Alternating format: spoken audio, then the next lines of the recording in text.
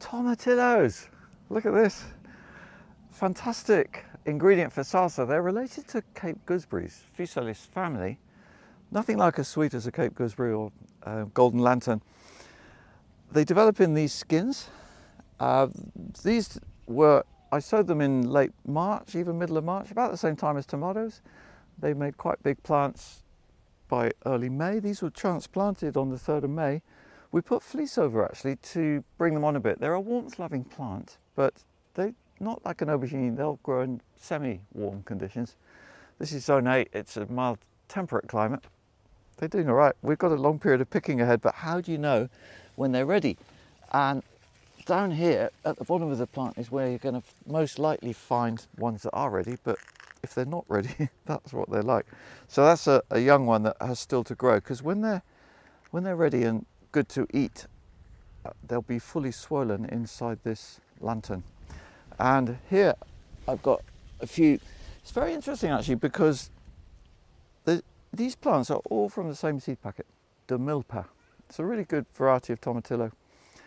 And this one, for some reason, is completely, completely different. And actually it's ready earlier, the slightly smaller. And there's already one which I can show you. So you can see it's fully, fully grown inside the, the, the lantern, which is also starting to go a bit pale and will eventually decay. That they'll burst out of it, and sometimes they even split actually. So that's a sign of readiness. You can get a lot, and then well, what do you do with them? Actually, I'll tell you what I'll quickly do as well to show you. They, at this point, they they're getting seeds in there, and if you didn't pick them and left them for quite a long time, the fruit will rot and then the seeds come out and they can become quite a weed. so beware of that. And it can become quite a hunt to find the right ones. So we're actually going to make a dish for you just to give you an idea of how to prepare them. and lo and behold, we have onions coming ready. So these are multi-sown onions sown February, transplanted March, and we actually pushed the tops over of those this morning. They're starting to ripen. And also because they got parsnips sown between, we'll harvest those ones quite soon. And here we have some red onions, also multi-sown. And they also are coming ready. They're looking really nice actually. Very happy with that. So I'll put one of these. These are good to eat at this stage. But also if you bend the tops over, that helps to firm, uh, dry the neck a bit and they'll store for longer. And then I'm going to go down to the greenhouse and we'll just have a quick look at tomatoes, another nice ingredient for a salsa. I'm in the greenhouse and I've come in for tomatoes. Oh, what do I find? I've forgotten. We got the chilies here actually as well. Fantastic ingredient also for salsa. This is Anaheim. So again, that was sown in March. Uh, it's been growing in a small pot, and then we put it in a big pot, and that's going to be really nice in the mix. Then we've got all different types of tomato. You can put any of these in, even these cherry tomatoes. That's like Sungold here. They're cropping really well in cool conditions. It's not a hot summer at the moment, uh, but we've been picking loads. And that'll bring a nice bit of orange colour. Then we have Gardener's Delight here, the red ones. So I'll just grab a couple of them. And as we move up here, we come to the gorgeous Berner Rose. This is one of my favourites. I mean, look how well it's cropping already. It's the first beef tomato to ripen, and actually there's a classic sign that it's ripe there, which is that little split. They do tend to split from uh, it's not really incorrect watering, it's more just a, a feature. It's a nice one, you know, it means it's beautifully ripe and top flavour. I'll pick a couple here and they, you know, they don't actually look that ripe, but it's a pink variety. So the name Berner Rose, that means pink from Bern in Switzerland. And then here we've got even these gorgeous cherry plum. These are top flavour. These will be really nice uh, in the dish. That's a variety called Rosada, which uh, I sowed actually 10 years ago because it, you can't get the seed anymore and it's F1 hybrid. So we just keep it alive from a side shoot. And there's a few more Gardener's Delight here I can pick. And we pretty much got it all now for preparing the dish. Let's go to the kitchen and see what we can make. So Nicola has been doing some preparation here and we've been doing some research. What's a good way to cook, prepare these tomatillos to get some nice flavours? And I'm going to start actually by tasting a little bit raw because I can describe to you then the flavour, which is nothing to write home about, it must be said, I don't think. I did a raw tasting actually at an event I was at once and in London, and the feedback I got mainly was, oh, this tastes like raw potato.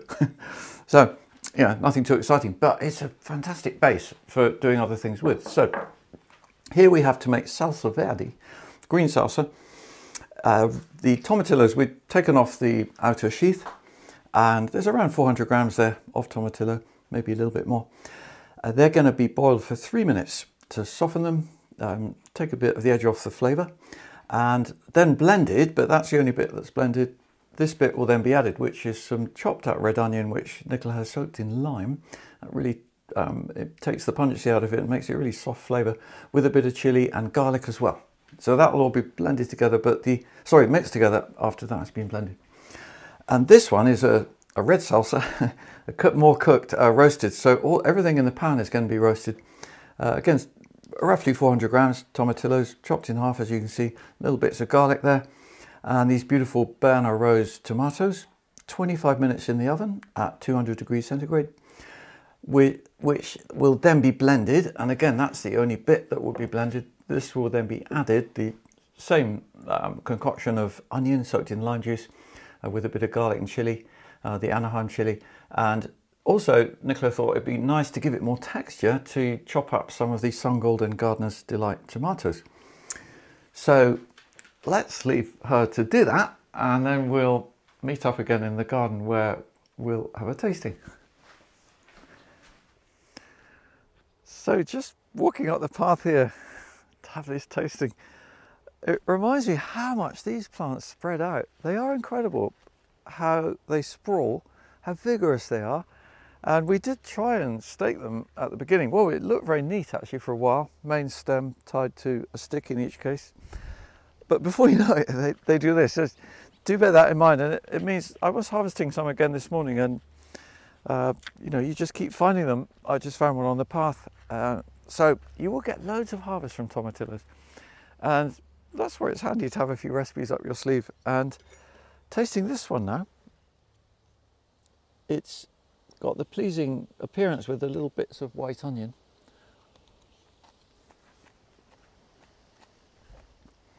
The seeds, look how many tomatillo seeds are there.